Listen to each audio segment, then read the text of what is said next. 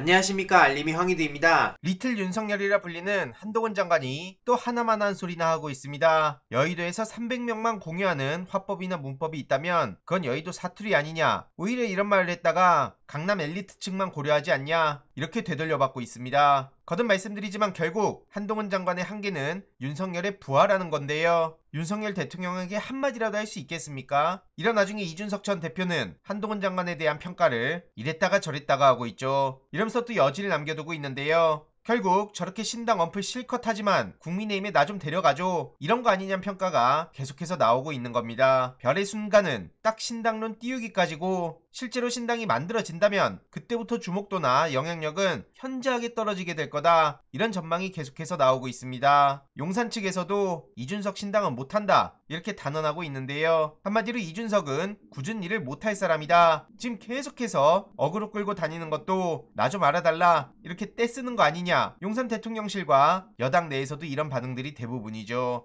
그래서 이준석 씨가 어떤 협박을 해도 용산은 꿈쩍하지 않을 거다 이런 얘기가 나오는 거고요. 신당 창당의 전제 조건은 뚜렷한 지지 기반인데 이준석한테 그런 건 안 보인다는 거죠. 한마디로 불완전한 대표성을 가지고 있단 거고요. 지지 기반 자체도 허약하단 겁니다. 결국 여기저기서 언플하고 어그로 끌고 도발하고 이러는 건 창당에 실패할까봐 두려워서 그런 거 아니냐 이런 얘기인 거고요. 김재섭 씨도 이준석 신당 합류에 선을 긋고 있습니다. 김종인 씨가 권해도 안 간다. 이런 얘기를 하고 있고 같은 당 20대 청년은 이준석 씨를 향해 대놓고 저격을 합니다. 대구에서 한번 붙어보자. 지금 이준석의 행보는 대구를 볼모 삼는 마이너스 정치 아니냐. 이준석 씨의 정치는 지역민들의 피로감만 높이고 있다. 이런 얘기인 거죠. 참고로 저게 이준석 씨가 커온 방식인데요. 그대로 되돌려받고 있는 겁니다. 심지어 이준석의 수호 집회까지 나갔던 주최자가 완전히 반 이준석으로 돌아섰는데요. 팸코만 보면서 정치하는 모습에 충격을 받았다 이겁니다. 그래서 이준석 씨 세상은 키보드밖에 있어요 라는 말을 최근 조선과의 인터뷰를 통해 전했는데요. 이 또한 이준석 씨가 과거 일베에다가 했던 말입니다. 정작 그래놓고는 팸코만 보면서 정치하는 모습 뭐라고 설명해야 되겠습니까? 그대로 돌려받고 있는 거고요. 지금 윤석열 대통령을 향해선 세 가지 변화를 하면 달라졌다고 평가할 거다. 하태경 의원의 말을 빌려서 저렇게 얘기를 하고 있는 건데요. 이 중에 하나도 대통령이 받을 수 있는 게 없습니다. 최근 인유한 혁신위원장이 대신 사과를 한다고 하자 황당하다. 가해자는 따로 있는데 다른 사람이 와서 대리인으로 사과하겠다는 건 뭐냐? 이렇게 반발하고 있고요. 인연 혁신이도 현재 존재감이 완전히 사라졌죠. 한동훈 장관을 향해선 젊지만 존경한다 그러고 원희룡 장관에 대해선 누가 봐도 택도 없는 어그로에 고마워서 눈물이 난다. 도대체 저게 혁신입니까? 이러니 민주당에서도 대통령과의 관계 재정립 없이 대체 여당에서 뭘 혁신하겠다는 거냐? 이렇게 비판하고 나선 거고요. 이런 와중에 윤석열 대통령은 외교는 외교대로 망치고 있는데요. 중국을 계속 자극하며 미국 일본만 바라보다가 입지가 완전히 좁아져 버린 겁니다. 정작 미중, 중일은 정상회담 다 하는데 한국은 그마저도 못했고요. 방금 전 속보로 9.19 남북 군사합의 일부 효력 정지를 제거했다는 소식까지 전해졌죠. 북한 자극을 총선 앞두고 또 써먹는 거 아닌가 이런 생각밖에 안 들고요. 교역, 디지털, 미래세대 이런 얘기를 하고 있는데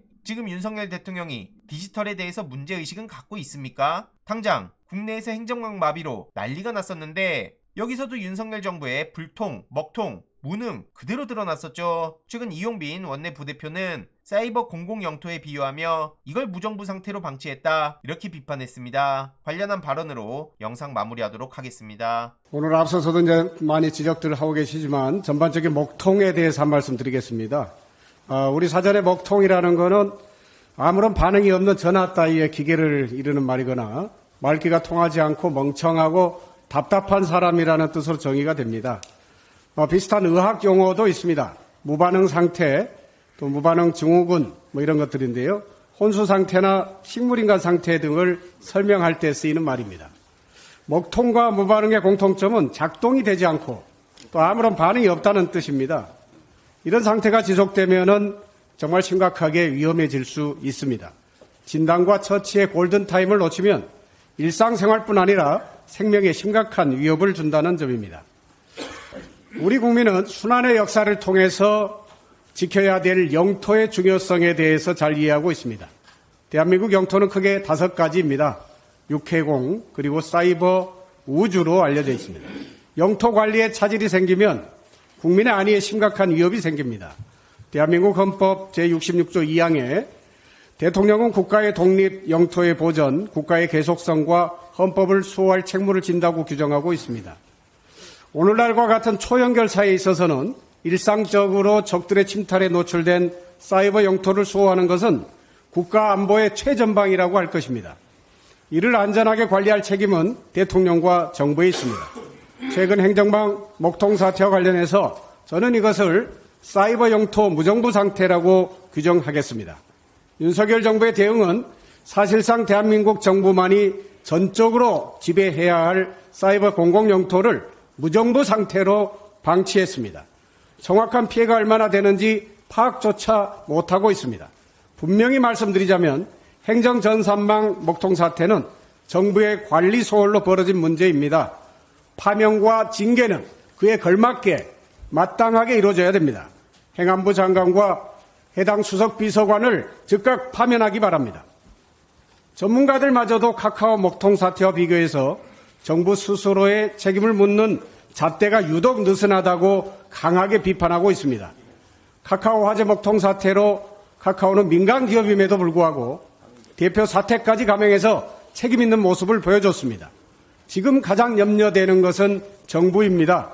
이태원 참사, 최일병 사망 사건에 이어서 행정망 먹통 등 사이버 영토의 무정부 사태에 이르러서도 아무도 책임지는 책임지지 않고 있습니다. 갈수록 이 윤석열 정권의 책임 정치와 법치의 고무줄 잣대는 제멋대로입니다. 노골적인 욕망에 사로잡힌 양평 고속도로 노선 변경, 도이치모터스 주가 조작 등 국민으로서는 결코 납득이 안 되는 일이 벌어졌음에도 처가 일가를 향한 잣대는 한없이 관대했습니다. 이 또한 국민들께서 보시기에 정부는 심각한 무반응 증후군의 현상을 보이고 있는 것입니다. 이 정부에 생명이 붙어 있는 것인지 걱정입니다. 뿐만 아닙니다. 행정망 먹통에도 모자라서 외교 먹통은 더 심각해졌습니다. 중국의 시진핑 주석과 고작 몇십 초 이야기 나누는 장면을 보면서 국민을 참담하게 했습니다. 예산 먹통 또한 심각합니다. 민생은 심각한데 예산의 우선순위는 사라졌습니다. 오로지 용산 대통령실의 눈치에 따라 달라지고 있습니다.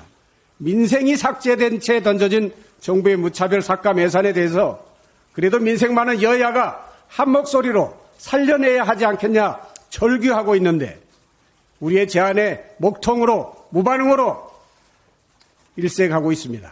심지어 여당은 예산 심사에 책임있게 임하지 않고 회의 불참과 기자회견을 남발하는 희한한 상황을 목도하고 있습니다. 야당을 설득할 의지는 이미 목통이 된 지 오래입니다. 이쯤 되면 정부 여당의 먹통 일색은 의식이 없음을 넘어서 가히 먹통의 고수가 된 듯합니다. 대통령실과 정부 여당에 촉구합니다. 사이버 영토 무정부 사태에 대해서 책임지고 국민의 눈높이에 부합하는 후속 조치를 신속하게 제시하십시오. 만약 이러한 무반응 먹통 정부 사태를 고수한다면 성남 민심은 촛불로 일어나서 직접 응급수술을 감행할 수도 있다는 점을 엄중히 경고하겠습니다. 이상입니다. 이번 내용도 유익했다면 구독, 좋아요, 알림 설정, 멤버십 가입 정말 큰 힘이 된다는 점 말씀드리고 싶습니다. 주위에 널리 공유 부탁드립니다.